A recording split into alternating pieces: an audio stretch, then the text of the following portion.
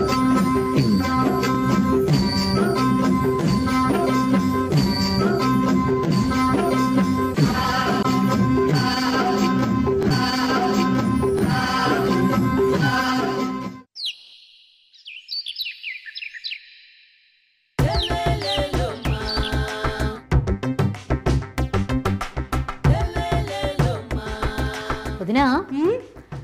Highway మీద ఒక బ్రహ్మాండమైన రెస్టారెంట్ ఓపెన్ చేశారు వదిన. సరే బాగుంది కదా అని వెళ్ళాము. నేను మీ తమ్ముడు. బ్రేక్ఫాస్ట్కి వెళ్ళాము. ఇడ్లీల్లోకి దోశల్లోకి ఇంకా మీల్స్తో పాటు కూడా ఒక స్పెషల్ డిష్ అని చెప్పేసి సర్వ్ చేస్తున్నారు. అవునా? అది ఏంటా అని కనుక్కున్నాను వాళ్ళు ఎట్లాగో మనకి రెసిపీ చెప్పరు కదా. కాకపోతే తెలిసింది ఏంటంటే గసగసాలు నువ్వులతో కారపొడిట గసగసాల నువ్వులతో కారప్పొడి మ్మ్. ఇదేదో బాగుంది. నేనే చాలా వెరైటీస్ చేస్తానంటే ఆ రెస్టారెంట్ వాడు నాకన్నా వెరైటీగా ఏదో ప్లాన్ చేసినట్టు అదే అసలు టేస్ట్ మాత్రం అసలు అమోఘంగా ఉంది. మరి నాకు మనం ఇంట్లో చేసుకొని ఒకసారి తినాలని ఉంది అలాగే మన వ్యూవర్స్ కూడా ఒకసారి పరిచయం చేస్తే బాగుంటుంది కదా ఇంత డిఫరెంట్ రెసిపీ అని అనిపిస్తుంది. చాలా బాగుంటుంది. కాకపోతే ఎన్ని రెస్టారెంట్స్ వచ్చి ఎన్ని కారపొడులు చేసినా మీ వదనకి తెలియని కారపొడి అయితే ఉండదు. అయితే నాకు ఆ గసగసాల నువ్వుల కారపొడి చేయడం నాకు వచ్చు. నీ కోసం చేసేస్తాను. అలాగే మన ప్రేక్షకుల కోసం కూడా. మరి ప్రోగ్రామ్ స్టార్ట్ చేసేద్దామా? కారాలు పొడులు కమ్మనైన సాంప్రదాయ రుచులకి స్వాగతం.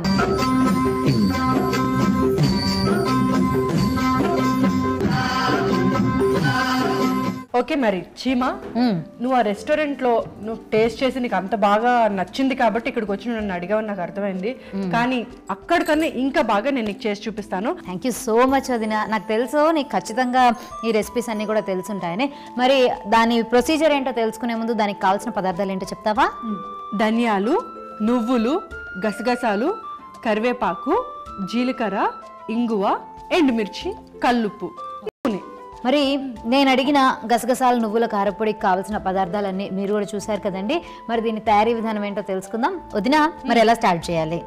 స్టవ్ వెలిగించి. ఓకే.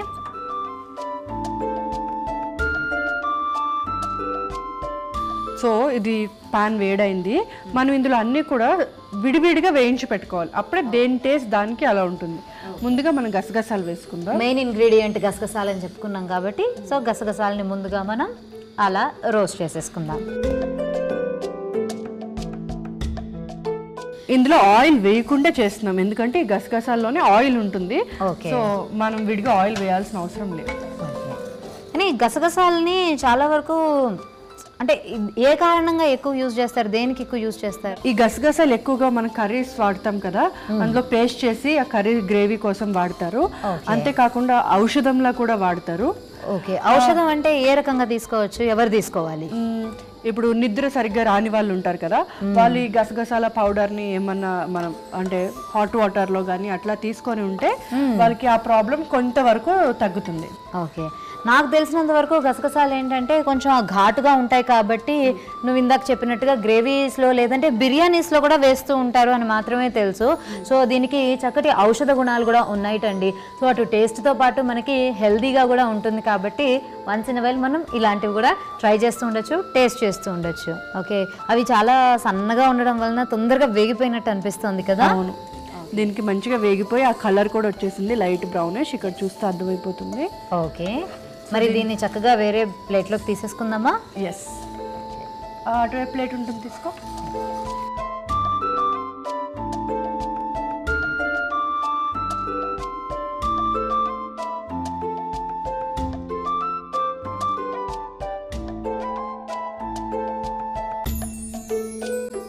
సో గసగసాలు వేయించేసుకున్నాం. దీని తర్వాత నువ్వులు. నువ్వుల్లో కూడా ఆయిల్ కంటెంట్ ఉంటుంది కాబట్టి మనం నూనె లేకుండానే మనం వేయించుకుంటున్నాం. అన్నీ కూడా ఈక్వల్ క్వాంటిటీస్లో తీసుకున్నాను నేను.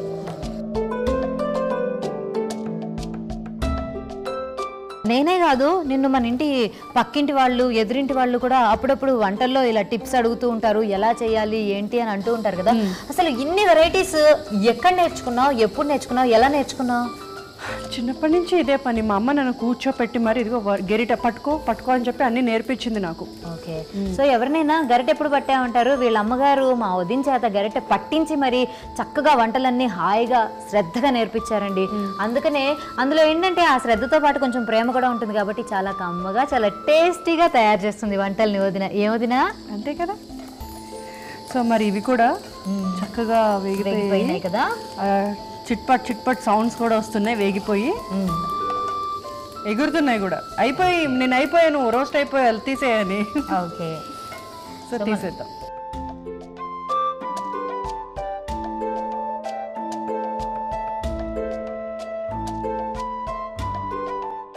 సో మరి గసగసాలు వేయించేసావు అలాగే నువ్వులు కూడా వేయించి పెట్టేసావు కదా. నెక్స్ట్ ఏంటి? సో ఇవి రెండు కూడా విడివిడిగా వేయించి పెట్టేసుకున్నాం. నెక్స్ట్ ఇప్పుడు నూనె యాడ్ చేస్తున్నావు ఓకే? కొంచెం ఒక వన్ స్పూన్ ఆయిల్. ఓకే. మామూలుగా అయితే మనం ఎండు మిరపకాయలను వేసేసుకుంటాము. మరి ఇప్పుడు ముందుగా ఏ ఇంగ్రీడియంట్ యాడ్ చేస్తున్నావు? జీలకర్ర యాడ్ చేస్తున్నాను. ఓకే. అంటే జీలకర్ర కొంచెం వేగడానికి టైం పడుతుంది. ఎండు మిరపకాయలు అయితే పక్కన వేగిపోతాయి కాబట్టి. ఓకే.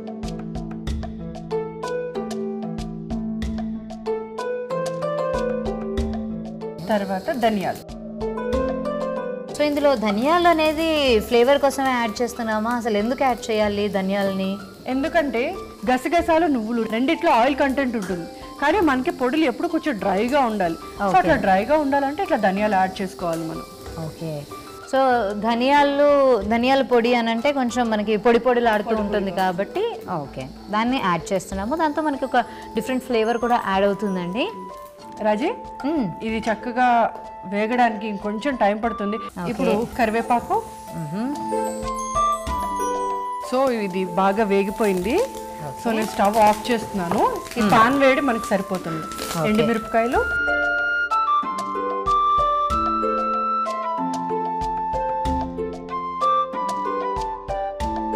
సో ధనియాలు కూడా నూనెలో వేగిన తర్వాత మనకు ఒక కమ్మటి వాసన అయితే వస్తుంది. సో మనం ఇక్కడ మెయిన్గా తీసుకున్న ఇంగ్రీడియంట్స్ అన్నీ యాడ్ చేసేసాము. ఒక ఇంగు తప్ప. సో ఇంగు కూడా ఇప్పుడు యాడ్ చేసేసుకోవచ్చా? ఇంగువ కొంచెం కలిపేసి దించేసేటప్పుడు యాడ్ చేయాలి. సో ఇది కూడా ఆల్మోస్ట్ ఎండుమిరపకాయలు కూడా కలర్ వచ్చేసాయి. వేగిపోయాయి కరివేపాకు ఇవన్నీ. సో ఇంగువ యాడ్ చేసుకుంటే ఒకసారి కలిపి తీసేయచ్చు.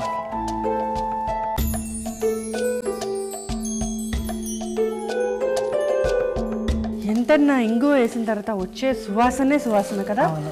ఆ ఇంగువ మనకి టేస్ట్ కూడా బాగుంటుంది. అలాగే అసలు మంచి అరోమా అండి మంచి స్మెల్ అనేది వస్తూ ఉంటుంది. సో పప్పుల్లో పచ్చళ్ళలో ట్రెడిషనల్గా చేసుకునే వాళ్ళు ఎవరైనా కూడా కంపల్సరీ ఆ ఇంగువ పోపు అనేది పెట్టుకుంటారండి. ఇది ఫస్ట్ విడిగా ఒక ప్లేట్లో తీసుకుందాం. ఎందుకంటే ముందుగా మనం ఇవి దంచుకున్న తర్వాత ఇవి దంచుకుంటాం కాబట్టి.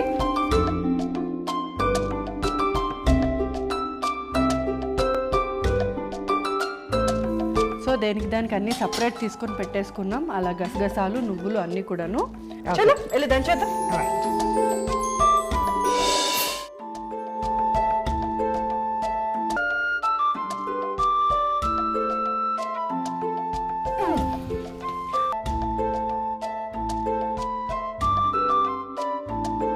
సో ఇవన్నీ మనం కలిపే వేయించుకున్నాం కాబట్టి వీటిని సెపరేట్ చేసి మనం పొడి చేసుకోవడానికి కుదరదు కదా.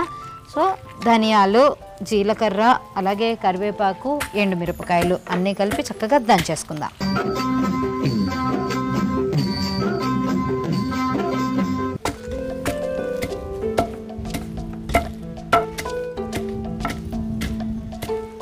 చీమా? మ్, వదినా ఈ కొంచెం పచ్చ పచ్చగా అయిపోయాయి మ్మ్. మనం ఉప్పు వేద్దాము ఓకే.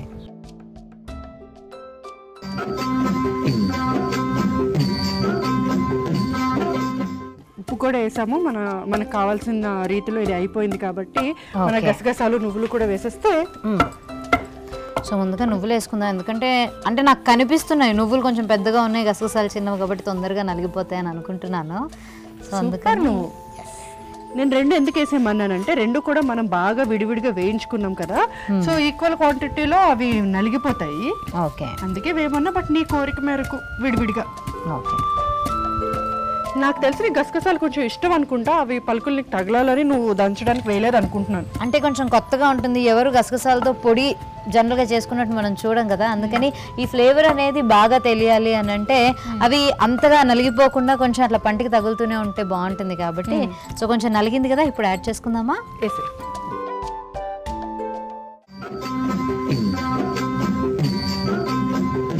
రాజీ మరి మంచిగా మనకి కచ్చపచ్చగా అయిపోయింది. ఓకే. ఇంకా ఇంకా సేపట్లో నువ్వు నీ అంతటా నువ్వు నన్ను ఫస్ట్ టైం అడిగినప్పుడు రెడీ అయిపోబోతుంది. ఓకే. రాజీ? అయిపోయింది?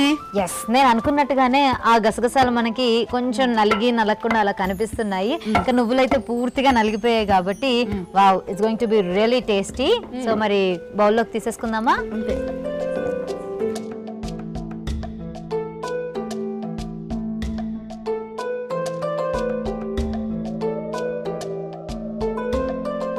మరి మా వదిన నా కోసం తయారు చేసిన గసగసాల నువ్వుల కారపొడి అయితే రెడీ అయిపోయిందండి. మరి దీనికి కావలసిన పదార్థాలు తయారు చేసుకునే విధానం చూసేయండి. గసగసాల నువ్వుల పొడికి కావలసిన పదార్థాలు గసగసాలు ధనియాలు నువ్వులు ఇంగువ కరివేపాకు జీలకర్ర ఉప్పు నూనె. గసగసాల నువ్వుల పొడికి తయారీ విధానం. ముందుగా స్టవ్ వెలిగించుకొని పాన్ పెట్టుకొని పాన్ వేడయ్యాక గసగసాలు నువ్వులు విడివిడిగా వేయించుకొని పక్కన పెట్టుకోవాలి. మళ్ళీ పాన్లో కొద్దిగా నూనె వేసుకొని నూనె వేడయ్యాక కరివేపాకు జీలకర్ర ధనియాలు ఇంగువ ఎండుమిర్చి వేసి వీటన్నింటినీ వేయించి రోట్లో వేసుకొని కాసేపు దంచుకొని తగినంత ఉప్పు వేసి మరింత మెత్తగా దంచుకొని సర్వింగ్ బౌల్లోకి తీసుకొని సర్వ్ చేసుకుంటే ఎంతో రుచికరమైన గసగసాల నువ్వుల పొడి రెడీ.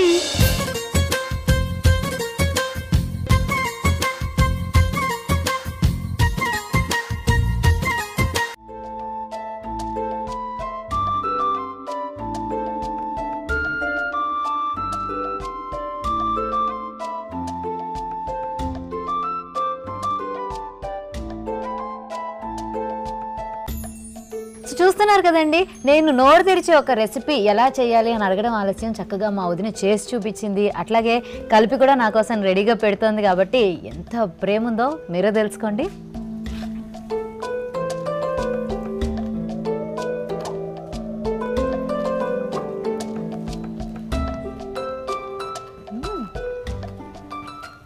నాకైతే ఇది చాలా బాగా నచ్చింది. నీకు ఎలా ఉంది? టేస్ట్ అయితే కొంచెం నాకు రెస్టారెంట్లో ఎలా అయితే టేస్ట్ చేశానో అలానే అనిపించింది. కానీ దానికంటే ఇది ఇంకా బాగుంది. ఎందుకంటే ఆ గసగసాలు అనేవి మనకి పంటికి తెలుస్తున్నాయి. ఒక కొత్త ఫ్లేవర్ ఏంటది ఇది అని చెప్పి నేను తెలుసుకుంటే కానీ మనకు అక్కడ తెలియలేదు. డిఫరెంట్గా ఉంది అని తెలిసింది. కానీ ఇందులో ఏంటంటే ఆ గసగసాల ఫ్లేవర్ అనేది చాలా చక్కగా తెలుస్తుంది. అండ్ నువ్వులు కూడా కాంబినేషన్లో ఉన్నాయి కాబట్టి నాకైతే చాలా చాలా నచ్చింది.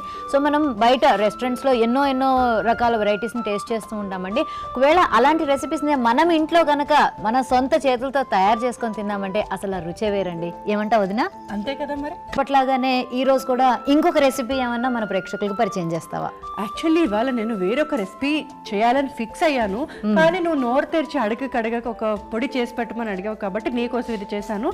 బట్. ప్రేక్షకుల కోసం నేను చేయాలనుకున్నది అయితే కంపల్సరీ చేస్తా. నువ్వు పరిచయం చేద్దాం అనుకున్న ఆ రెసిపీ ఏంటో చెప్పు వదినా నువ్వు గసగసాలు నువ్వుల పొడి అడిగావు.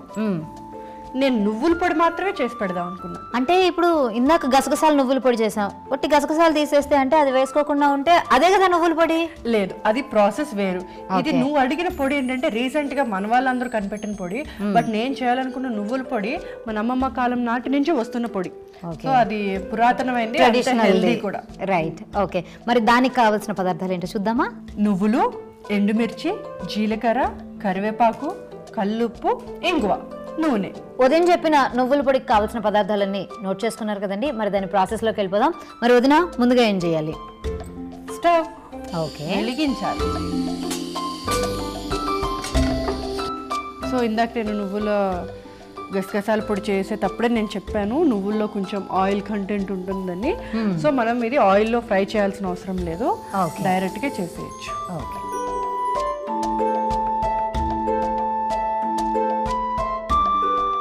ఈ వేగిపోయలేదో కూడా మనకు చాలా ఈజీగా తెలుస్తాయి. వేగిపోతే చిట్పట్ చిట్పట్లు ఆడుతూ ఉంటాయి.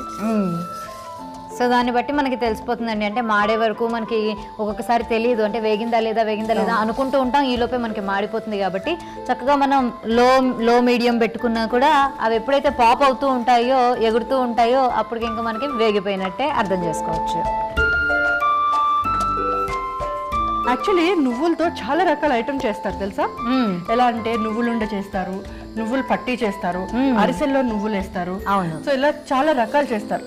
అందుకనే నేను కొంచెం డిఫరెంట్గా ఉండాలని నువ్వుల కారపొడి చేస్తున్నాను. అంటే ఇది ట్రెడిషనల్ ఐటమ్ చాలా మందికి తెలిసి ఉంటుంది. కానీ కొంతమంది తెలియని వాళ్ళ కోసం ఇది. అవును. వదిన అయితే ఇక్కడ నాకు ఒక డౌట్ వచ్చింది. మనం మామూలుగా ఇలా పల్లీలు లేదంటే అంటే ఏది దేనిలో అయితే నూనె కంటెంట్ ఉంటుందో సో ఇప్పుడు ఇది ముద్దగా రాబోతుందా? లేకపోతే పొడి పొడిలాగా చేస్తావా? యాక్చువల్లీ ఇది నీకు సర్ప్రైజింగ్గా నేను దంచేటప్పుడు చెప్దాం అనుకున్నాను. కానీ ఏంటంటే విషయం ఇవి చల్ ఇప్పుడు వేయించాం కదా ఇవి చల్లారిపోయాక దంచాం అనుకో పొడి పొడిగా వస్తుంది. అదే ఇలా వేడి మీద దంచాం అనుకో ముద్దగా వస్తుంది. ఓకే. సో అప్పుడు వేడి మీద దంచితే కనుక అందులో ఉన్న ఆయిల్ బయటికి వచ్చి మనకి కొంచెం ముద్దగా అవుతుంది. అదే బాగా చల్లారిపోయిన తర్వాత వేస్తే కనుక చక్కగా పొడి పొడిలాడుతూ ఉంటుంది అండి మనకంత తొందర ఎందుకండి? హాయిగా మెల్లగా చల్లారిన తర్వాత దంచుకున్నాం అనుకోండి. పొడి పొడిలాడుతూ ఉండే ఆ కమ్మ కమ్మగా ఉండే నువ్వుల పొడిని మనం టేస్ట్ చేయొచ్చు కదా. ఇవి రెడీ? అయిపోయాయి. Plate plate.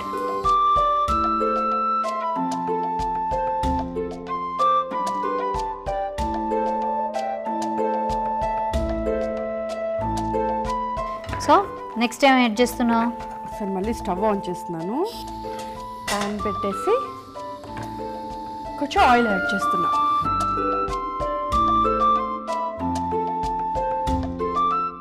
ముందుగా ఇందులో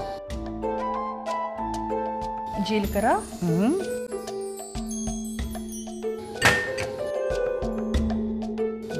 కరివేపాకు. ఓకే.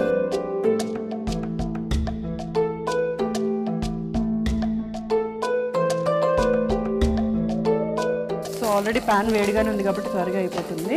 ఓకే. ఎండుమిరపకాయలు వేసుకోవచ్చా? ఎండుమిరపకాయలు వేసి. సో ఈ ప్యాన్ హీట్ సరిపోతుంది. సో నేను స్టవ్ ఆఫ్ చేసేస్తున్నాను. ఓకే. అలాగే ఇంకో కూడా వేసేసాయి. ఓకే.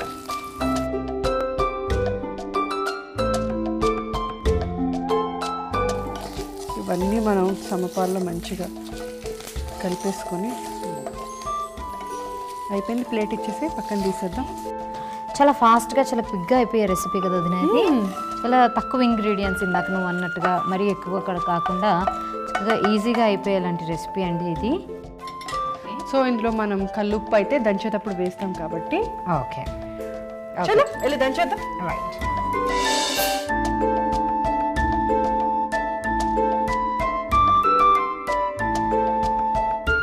ముందుగా ఎండుమిరపకాయలు ఇవన్నీ వేసేసి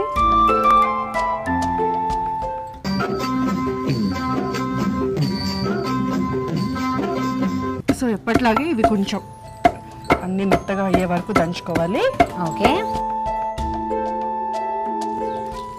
ఇందులో కొద్దిగా కళ్ళు వేసుకుందాం.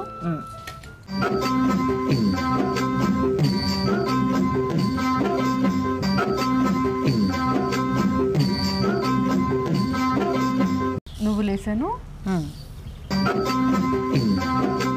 సో ఈ పాటికి చక్కగా మనకి నువ్వులు కూడా బాగా చల్లారిపోయి ఉంటాయి కాబట్టి ఇంకా దంచిన తర్వాత మనకి చక్కటి ఫైన్గా ఉండే పౌడర్ పొడి పొడిలాడుతూ వచ్చేస్తుంది. సో హాయిగా ఇదే విధంగా పొడి పొడిలాడేలాగా దంచుకుందాం.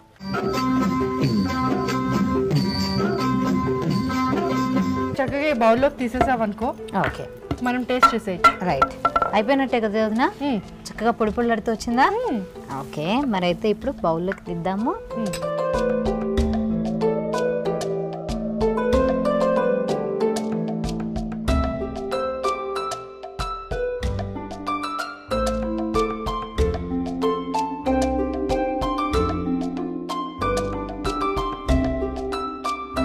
మరి మనం టేస్ట్ చేసే ముందు నువ్వుల పొడి తయారీ విధానం దానికి కావాల్సిన పదార్థాలు మరోసారి.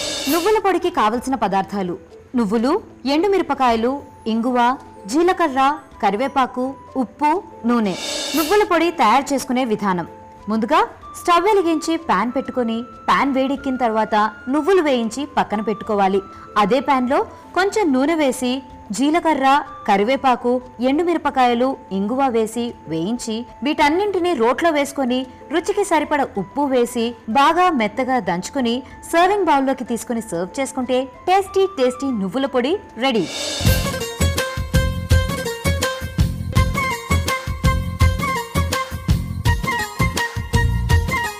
సో మరి అందరూ దీని తయారీ విధానం అంతా చూసేసారు. మనం టేస్ట్ చేసి ఎలా ఉందో చెప్పేస్తే వాళ్ళు కూడా ట్రై చేస్తారు. ఓకే.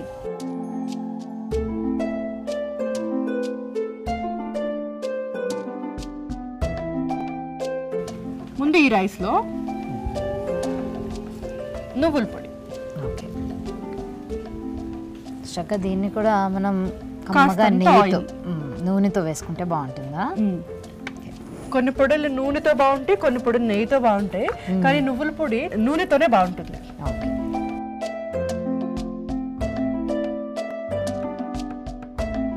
నీ చేత్తో నాకు ముద్దు పెట్టు.